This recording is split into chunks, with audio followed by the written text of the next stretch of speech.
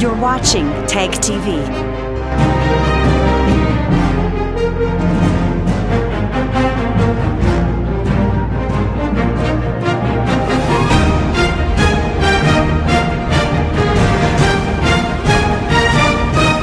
You're watching Tag TV.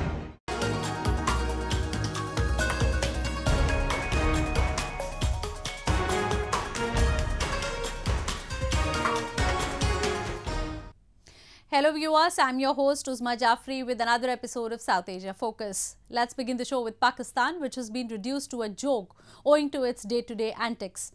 After its non-stop whining failed to garner any international support against India, it has now resorted to a hit and trial policy. While one day it tries to threaten India by test firing a ballistic missile, on other it is deeply immersed in theatrics calling people to hold anti-India demonstrations. And this all is happening at a time when the FATF blacklist is staring at it for harboring and transporting terrorism as state policy. No wonder its isolation and desperation is making it to do things that will be categorized nothing more than dumb-witted. A report.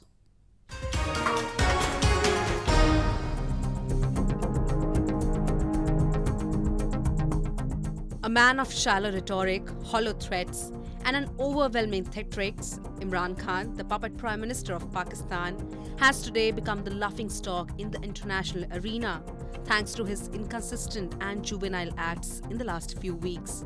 Baffled by Indian decision of abrogation of an article that gave autonomy to the Indian state of Jammu and Kashmir, Khan has been behaving like a novice politician.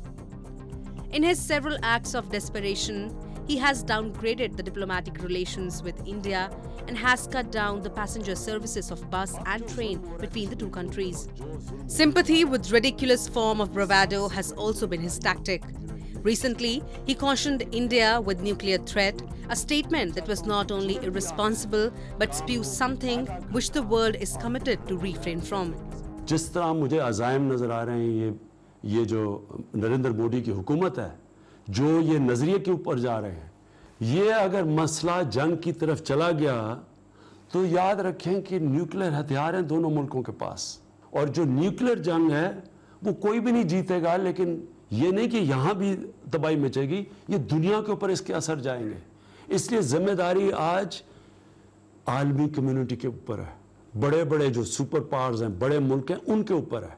और दुनिया आए हमारे साथ या ना आए पाकिस्तान तो अब हर हद तक जाएगा। हर सतह पे आखिरी सांस तक उनके साथ जाएँगे। Earlier, Pakistan had appealed to the United Nations Security Council to intervene, only to meet a colossal disappointment. The point of snuff for Pakistan, however, came when Indian Prime Minister and US President exchanged hugs and loves in the bilateral meeting held between two on the sidelines of the G7 summit held in France. The meeting culminated with the United States calling the Kashmir issue bilateral and asking Islamabad to follow it accordingly. I'm here.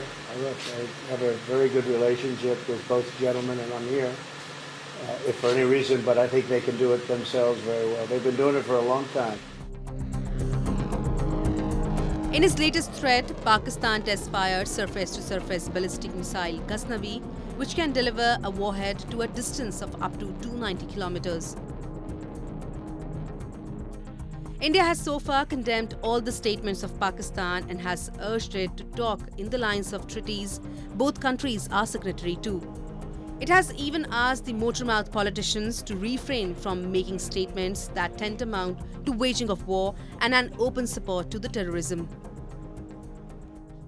Moving on, it won't be an exaggeration if we call Pakistan a barbarous state. It has literally set its army loose to crush the people who do not fall in line with its draconian policies and principles, no matter how unethical and oppressive they are.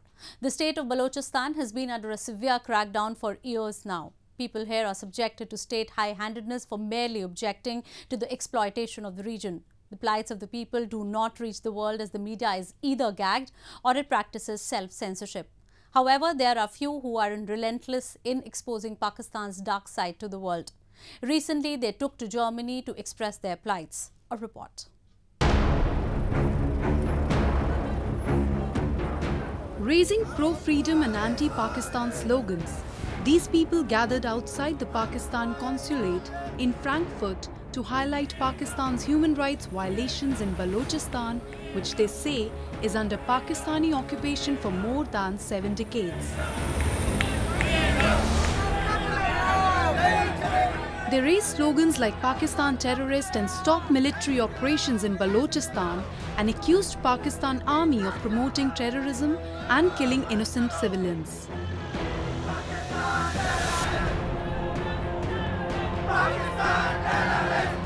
These activists have long been raising the issue of ongoing abductions, enforced disappearances and extrajudicial killings by Pakistani security forces as tactics to muzzle dissenting voices in Balochistan.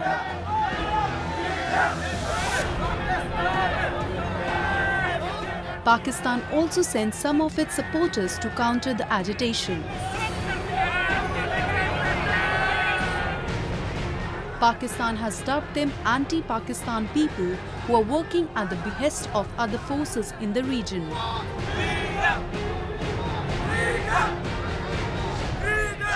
They are uh, criticizing us of so many things, but we are here truly to raise voice for Balochistan, and uh, this is our blame. We are requesting the world to see that uh, here we are dealing with the rights of Baloch people only. According to Voice for Baloch Missing Persons, VBMP, around 5,228 Baloch have gone missing from 2001 to 2017.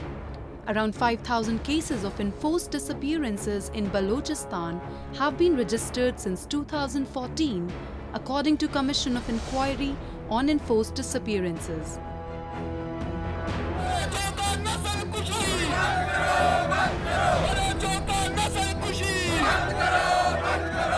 Baloch activists had earlier organized seminars across the world to commemorate the martyrdom anniversary of prominent Baloch leader Nawab Akbar Khan Bugti, who is also known as father of the Baloch nation.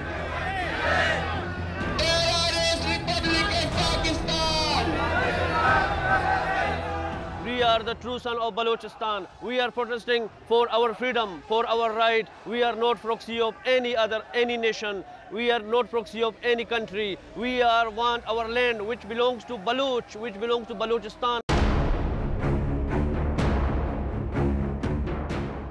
The standard of Baloch life has further deteriorated since the inception of the China-Pakistan Economic Corridor, a project which has essentially been plundering the land and resources of the region and not returning any benefits to the locals. Any resistance by the people has been subjected to brute high-handedness of army and other agencies. The Pakistani Rangers have been carrying out human rights violations with impunity. The activists from the region have been constantly knocking on the door of the international community. They have been regularly carrying out demonstrations against Pakistan. They have even urged the United Nations to intervene. But to their disappointment, nothing concrete has been achieved so far. However, they're just not ready to give up. In fact, they have vowed to escalate the intensity in coming times.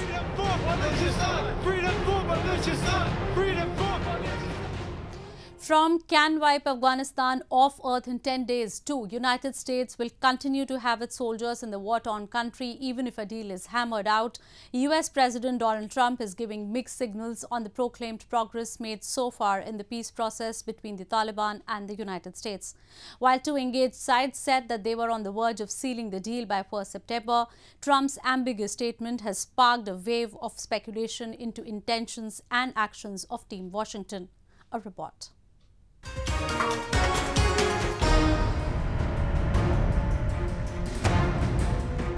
US President Donald Trump has said that the US troops will continue to have their presence in Afghanistan even if a peace deal is signed between the insurgents and Washington. In an interview he gave to Fox Radio, he said that the number of troops in the country, however, will drop to around 8,600 in coming times. But his recent statements are in sharp contradiction to his own statements. Trump has in past called the Afghanistan war a complete waste and has suggested that his team should leave Afghanistan immediately.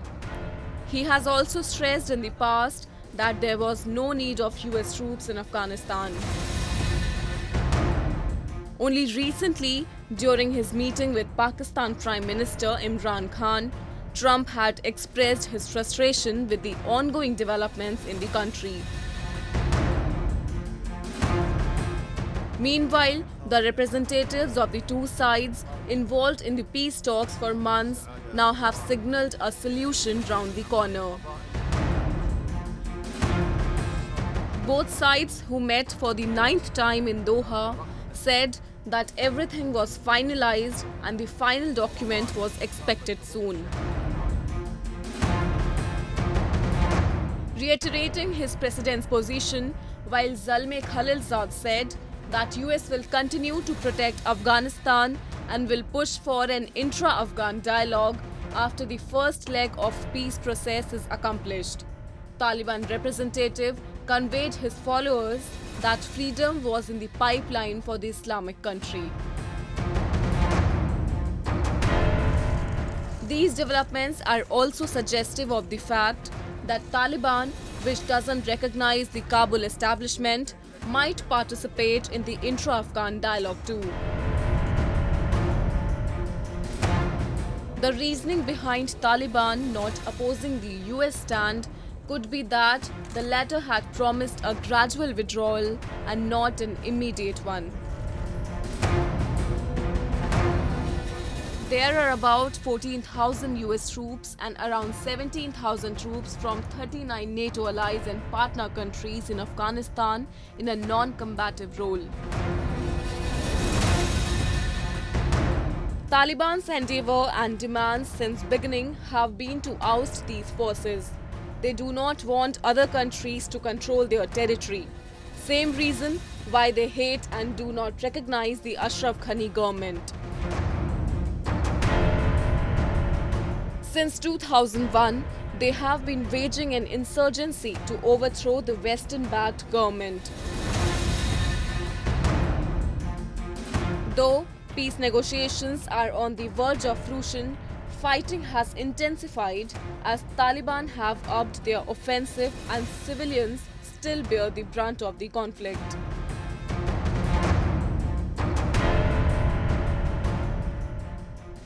Moving on to Sri Lanka, where the Archbishop of Canterbury, who was on a three-day visit to the island nation, visited one of the prime targets of the Sunday Easter bombings.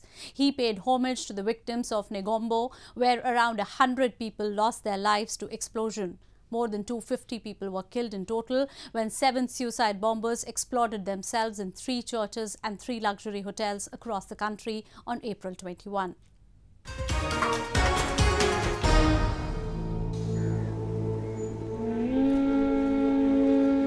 Around four months after the deadly bombings rocked several towns of Sri Lanka, Justin Portal Welby, the 105th Archbishop of Canterbury and the most senior bishop in the Church of England, visited the seaside town of Negombo to pay homage to those who lost their lives in the attack. Welby offered flowers at a memorial commemorating the more than 250 victims killed after Islamist militants targeted churches and luxury hotels and gave gifts to injured children inside the recently restored St. Sebastian's Church.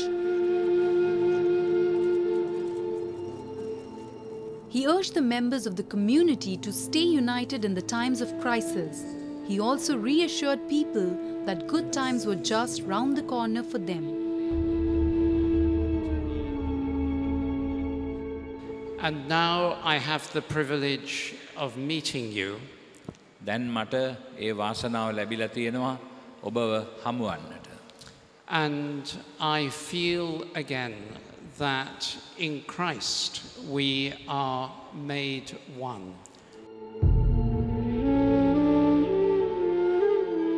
Welby's visit came a month after Ranjith, Sri Lanka's most senior Roman Catholic, called for an independent and transparent commission to investigate the Easter attacks saying justice had not yet been served.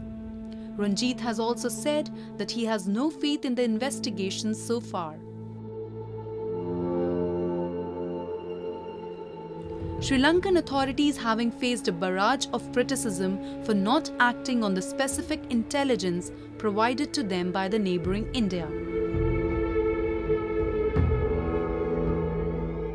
As per the reports in various officials' accounts, India had hinted that Pakistan was nurturing Islamist terrorists in Sri Lanka, but the authorities didn't take action under a presumption that New Delhi wanted to pit Sri Lanka against Pakistan. More than 250 people had lost their lives in revised government calculation, which had earlier reached beyond 350.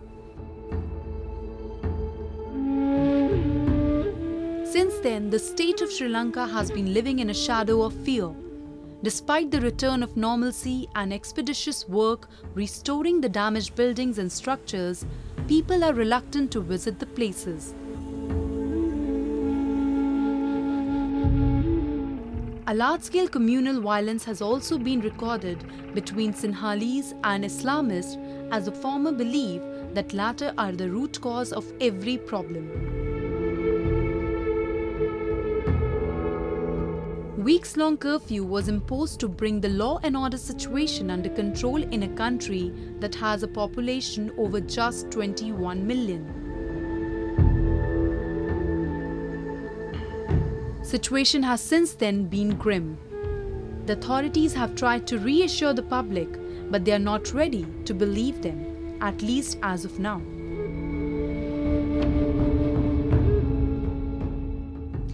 Moving on to Cox's Bazar in southeastern Bangladesh, where thousands of Rohingya refugees commemorated the Genocide Day to mark the completion of two years of their mass exodus from Myanmar. Around 730,000 Rohingya who have been living in precarious conditions of camps for two years said that they wanted to return to their country. Earlier, however, they turned down government's endeavours of repatriation, citing absence of security and employment for them in Myanmar. A report.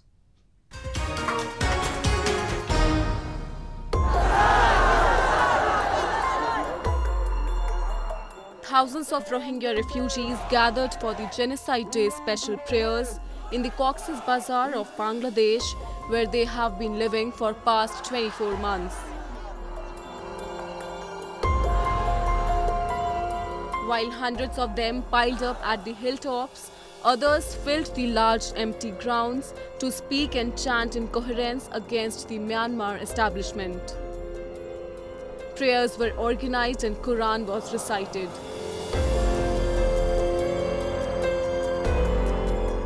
Also carried floats with text suggesting that they wanted to go home, a completely contrary position with what they stick to when asked individually.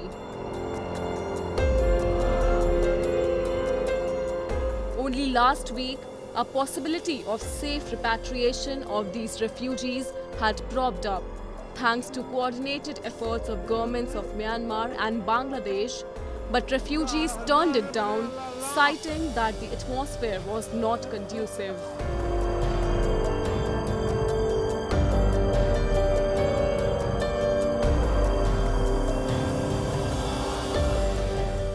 আমরা নতুন দায়ের আর মোবলালে আলে জেনেবা গেলাম রোহিঙ্গার পক্ষে হতাই বললা demand তুলি বললা তাহলে আর ডিমান্ড পুরা ন দেখি আরা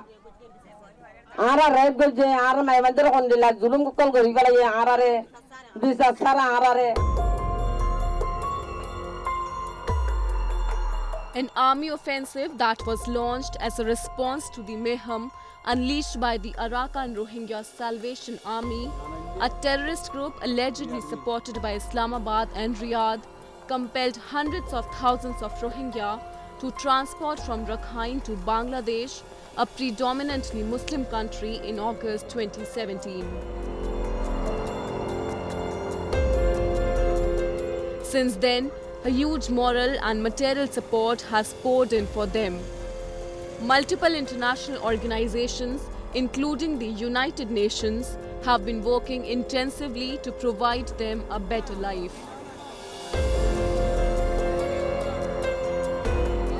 And a tangible improvement can be observed in the lifestyle Rohingya lived when they came and the life they are living today.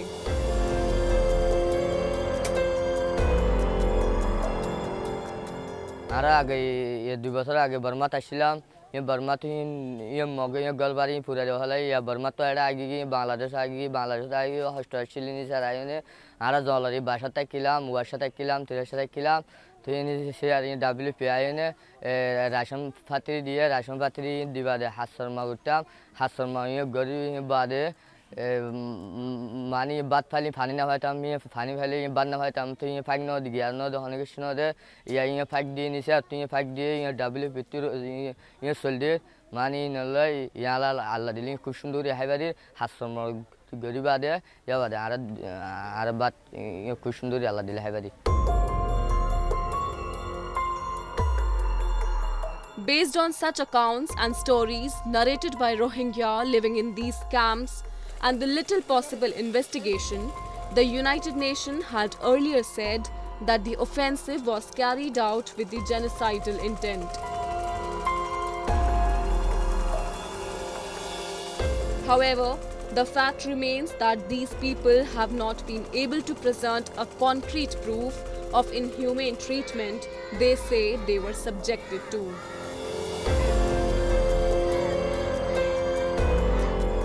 Some critics even argue that the life in refugee camps, which is at par with their lives in Rakhine and attached prospects with it, have enticed people into staying back in these camps.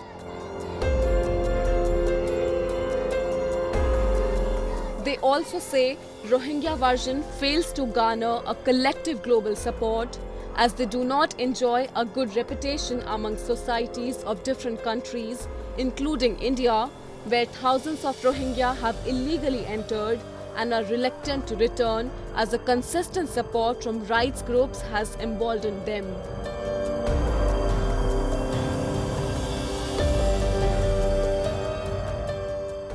Moving on to India, where the top fashion designers from across the country exhibited the finest of their creations at the winter festive edition of the 2019 Lakme Fashion Week. Bright colored embellished work, disco themed collections, sustainable designs ruled the latest edition of the extravaganza. Have a look.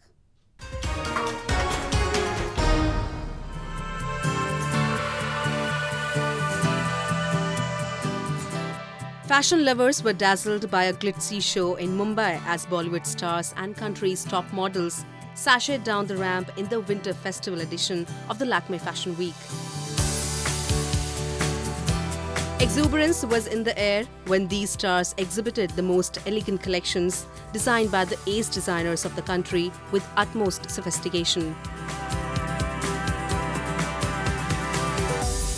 Sustainable Fashion Day at the show hosted a new wave of labels this year, hoping to bring in customer demands for ethical clothing and to bring the industry in line with the growing movement away from synthetic fiber and use of fur.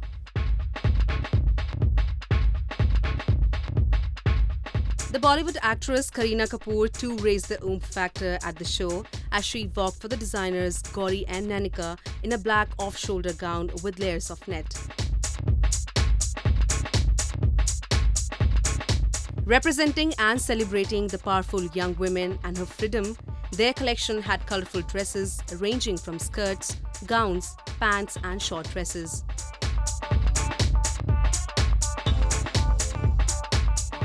This, like I said, feels even more special because of Gauri and Nainika.